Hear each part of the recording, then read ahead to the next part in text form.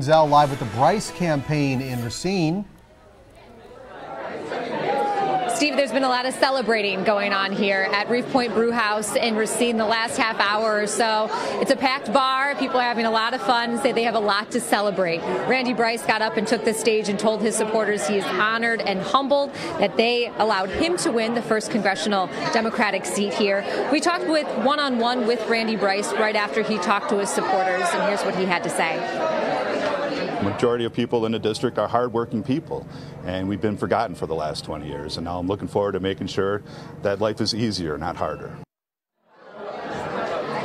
Bryce says the next three months are critical, but he says he thinks he can win it all, though he is focused and says he will keep the same campaign talking about health care, um, using his platform that connects with people and their jobs as him as an iron worker.